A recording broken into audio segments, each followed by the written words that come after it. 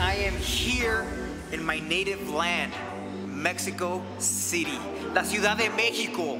I am so honored to be part of the GQ México. Espero que en este trabajo que hicimos juntos conozcan un poco más de Calisto, tal vez el hombre detrás de la máscara, ¿no? Me gustaría que los lectores de GQ se llevaran una idea un poco más compleja de, de la belleza y de la intensidad que es la lucha libre. GQ México. Don't miss out, guys. Lucha, lucha.